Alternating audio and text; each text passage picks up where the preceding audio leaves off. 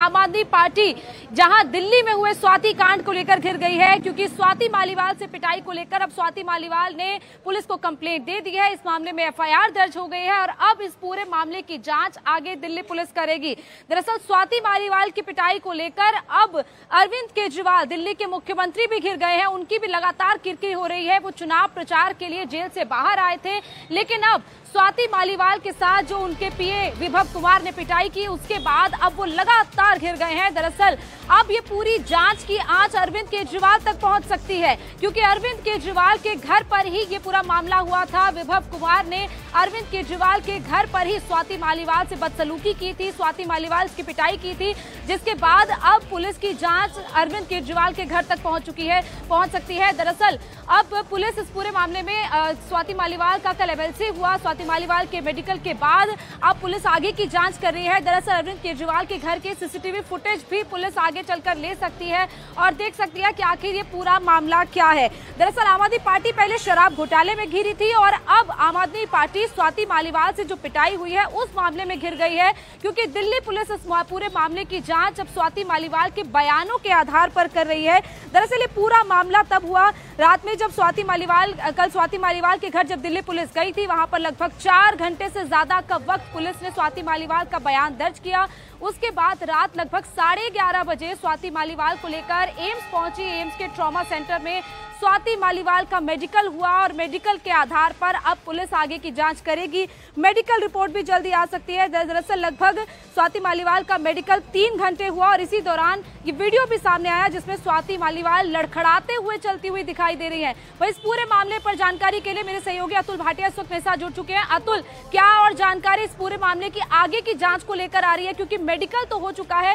क्या मेडिकल में निकलकर सामने आया और अब दिल्ली पुलिस आगे क्या करेगी? देखिए गौनिका जिस तरीके से तेरह मई को यह पूरी घटना हुई, अभी की खबर यह है कि दिल्ली के मुख्यमंत्री अरविंद केजरीवाल का बयान दर्ज करेगी दिल्ली पुलिस, क्योंकि घटना जिस तरीके से हुई, वो पूरी घटना जो है वो सीएम हाउस के अंदर हुई। जो स्वाति मालीवाल है, वो तेरह मई की सुबह जो है वो टैक्सी से सीएम हाउस पहुँचती है, ठीक इस गेट के बाहर उतरती हैं।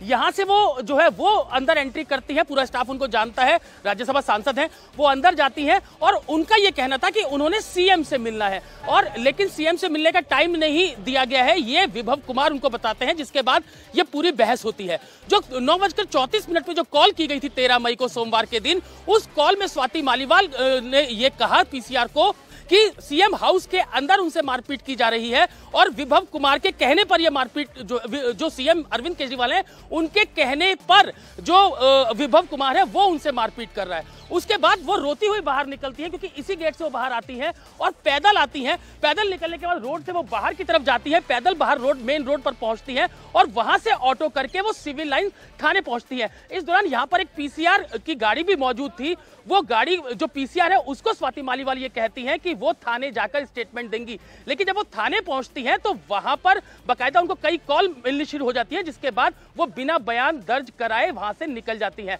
उसके बाद काफ़ी समय लगता है, पुलिस उनको अप्रोच करती है, क्योंकि लगातार स्वाति जो स्वाति मालीवाल है, उसको उनके बयान दर्ज करने के लिए पुलिस उनको लगातार संपर्क कर रही थी। उसके बाद कल उनके बयान लिए गए जिसके बाद मेडिकल उनका कराया गया है, एम्स ट्रॉमा सेंटर के अंदर, और उसकी रिपोर्ट आज आने की उम्मीद है। लेकिन यहाँ पर इंपॉर्टेंट ये है गौनिका कि अब जो पूरी इन्वेस्टिगेशन दिल्ली पुलिस की आगे बढ़ेगी क्राइम ब्रांच और इसके अलावा लोकल पुलिस के साथ स्पेशल सेल भी इस पूरे मामले की इन्वेस्टिगेशन कर रही है।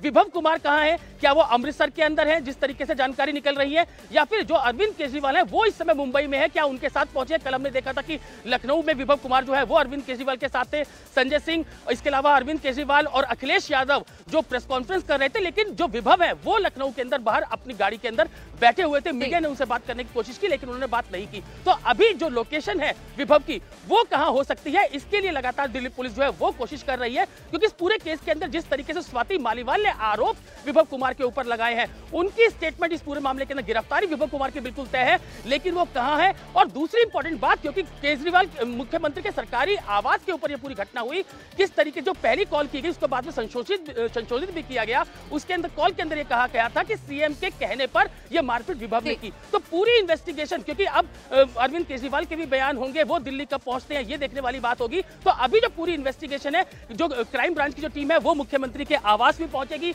यहाँ पर जो सीसीटीवी कैमरे हैं उनको खंगाला जाएगा। जो कंपनी है जो सीसीटीवी कैमरे जिस कंपनी के लगे हुए हैं उनको बाकायदा दिल्ली पुलिस लिखेगी और बाकायदा जो स्टाफ यहाँ पर था उनसे भी उनके बयान भी यहाँ पर दिल्ली पुलिस दर्ज करेगी। क्योंकि पूरी जाँच इस वक्त अभी विभव कुमार के इर्द गिर्द घूम रही है लेकिन विभव कुमार इस पूरे मामले में आरोपी है और इसका पुष्टि कहीं ना कहीं आम आदमी पार्टी ने खुद ही कर दी है। संजय सिंह ने खुद प्रेस कॉन्फ्रेंस करके कहा था कि विभव कुमार ने अरविंद केजरीवाल के घर पर स्वाति मालीवाल से बदसलूकी की, स्वाति मालीवाल से मारपीट की, जिसके बाद ये पूरा मामला वेरीफाई हो चुका है और स्वाति मालीवाल के बयान के बाद अब एक तरीके से मोहर लग गई है इस पूरे मामले पर लेकिन ये पूरे मामले पर एफआईआर तक ये बात कैसे पहुँच गई, जबकि तीन दिन से स्वाति मालीवाल चुप थी, इस पर बात भास्कर मिश्रा से करेंगे भास्कर। एक तरफ़ जहाँ ये कहा जा रहा था कि स्वाति मालीवाल से कहीं ना कहीं आउट ऑफ़ मतलब बिना एफआईआर के उनसे बातचीत कर रही है आम आदमी पार्टी और ये हो रहा था कि कहीं शायद एफआईआर ना करे स्वाति मालीवाल, लेकिन कल कैसे ये कन्विंस हो गई और क्या आम आदमी पार्टी से इस वक्त स्वाति मालीवाल का कोई संपर्क नहीं हो पा रहा है? क्योंकि जिस तरीके से संजय सिंह ने प्रेस कॉन्फ्रेंस की थी, वो शायद ऐसा लग रहा था कि मामले को एक तरीके से कहीं पहले ही सेटल किया जा रहा है, लेकिन मामला सेटल हुआ ही नहीं। बिल्कुल कोशिश की गई थी कि इस मामले को सुलझा लिया जाए। संजय सिंह इसमें मध्यस्थता कर रहे थे। संजय सिंह स्वाति मालीवाल के घर भी गए थे। इसका फुटेज भी है हमारे पास और इसके साथ साथ संजय सिंह बाहर आके, मीडिया के सामने आके एक स्टेटमेंट भी पढ़ा था जिसमें उन्होंने स्वीकार किया कि विभव कुमार ने बदसलूकी की बदतमीजी की। मारपीट उन्होंने शब्द इस्तेमाल नहीं किया था और इस बात की भी तस्दीक की थी उन्होंने कि स्वाति मालीवाल ने सीएम आवास के अंदर से ही 112 नंबर पे कॉल किया था। और ये सब कुछ ऐसा हो रहा था जिस हिसाब से आ, हमारे पास जानकारी है कि स्वाति से बातचीत होने के बाद पार्टी सामने आई और इस बात को स्वीकार लिया। लेकिन कल का घटनाक्रम जो है वो लग रहा है कि इसमें ट्रिगर पॉइंट बना, जिसमें यह दिख रहा है कि पार्टी जिसे कह रही है कि उसने बदसलूकी की, उसको सीएम अरविंद केजरीवाल खुद अपने साथ लेके जा रहे हैं। मीडिया से बात करने की कोशिश हुई, लेकिन वो नहीं हो पाया। अरविंद केजरीवाल खुद बयान नहीं दिए कुछ, उन्होंने माइक संजय सिंह की तरफ़ दे दिया। तो हो सकता है कि ये एक ट्रिगर पॉइंट हो, और उसके बाद स्वाति को लगा होगा कि एक तरफ़ तो पार्टी ये कह रही है कि इस मामले को शांत कर लिया जाए, निपटारा कर लिया जाए, विभव कुमार का नाम ले लिया, लेकिन दूसरी तरफ़ अरविंद केजरीवाल उसको अपने साथ लेके जा रहे हैं। उसके बारे में वो खुद नहीं कह रहे हैं। तब आखिरकार मीडिया के सामने ये खबर आई कि पुलिस वहाँ पहुँच गई है। और पुलिस ने चार घंटे से अधिक का समय वहाँ पे बिताया। स्वाति मालीवाल ने अपना स्टेटमेंट दिया और उस स्टेटमेंट में कार्रवाई की बात कही गई और यहाँ तक कि मारपीट हुई कहाँ कहाँ मारा, ये सारी डिटेल उसने बताई है स्वाति मालीवाल ने। तो उसके बाद ये तय मान के चलिए कि जो बातचीत चल रही थी वो खत्म हो गई। मेरी बात दोपहर दो तीन बजे के बाद भी हुई है पार्टी में कुछ नेताओं से। तब भी हमारे पास यही जानकारी थी कि आज शायद इस मामले में पटाक्षेप हो जाएगा, शायद ये मामला सुलझ जाएगा।